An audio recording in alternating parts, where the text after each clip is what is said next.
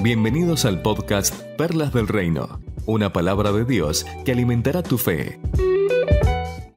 En una oportunidad Jesús estaba hablando con sus discípulos y les dijo, estas cosas se las he dicho para que en mí tengan paz. En el mundo van a tener aflicciones, pero confíen, yo he vencido al mundo.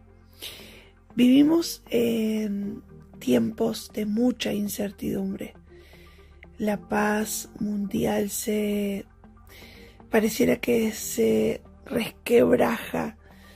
La salud sigue siendo un tema de preocupación, la economía, la educación, eh, las preocupaciones por lo que puede llegar a venir crecen cada, cada vez más y no tiene que ver solamente con nuestra condición, sino en el mundo entero.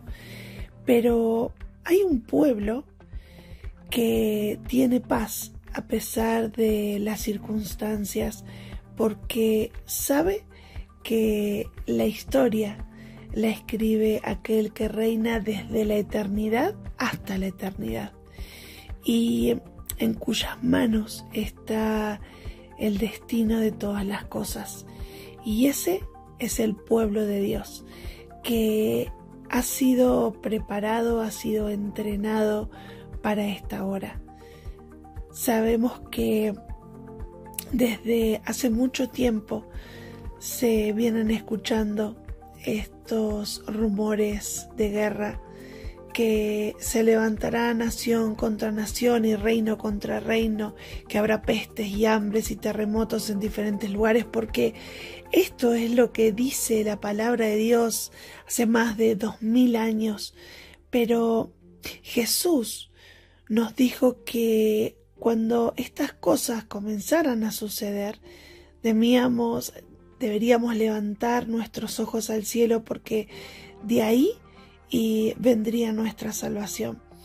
Y Lucas capítulo 21 en el versículo 28 dice, cuando estas cosas comiencen a suceder, erguíos y levantad vuestra cabeza porque vuestra redención está cerca.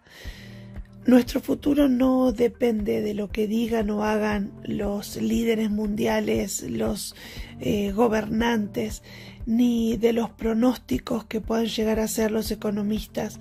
Nuestro futuro está definido desde la eternidad. Nuestra vida está controlada por aquel que tiene contado, y como dice la palabra de Dios, aún los cabellos de nuestra cabeza.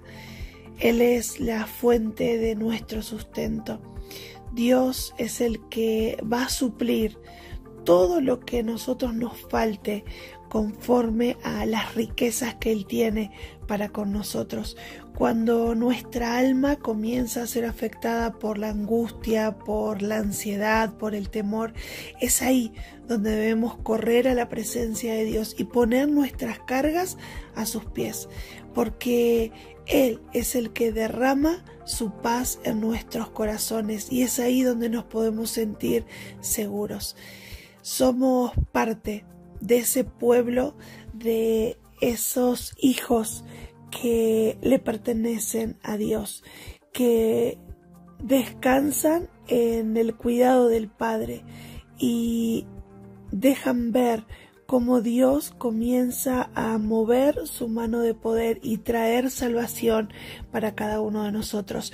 Cuando la cosa se ponga difícil, cuando las situaciones se pongan difíciles, nosotros podemos levantar nuestra mirada al cielo y saber que de ahí viene nuestra salvación, que es Dios el que tiene el cuidado de cada uno de sus hijos.